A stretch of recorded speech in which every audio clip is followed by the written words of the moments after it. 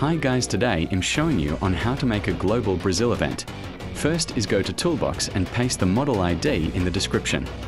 Now click arrow and go to Wave 3 and delete the script inside it. Now name it Brazil and copy it and paste it into replicated storage. Delete the Brazil model in Workspace. Now go to Players, click yourself and copy the UserId. Now go to StarterPlayer and add a local script in StarterPlayer scripts.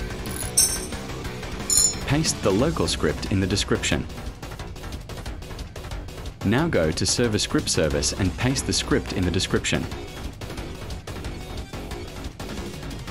Now replace the local ownerId to the UserId you pasted earlier.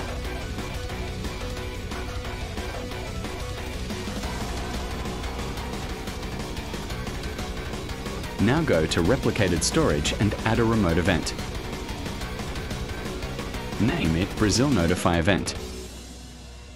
Type a Brazil to start the event.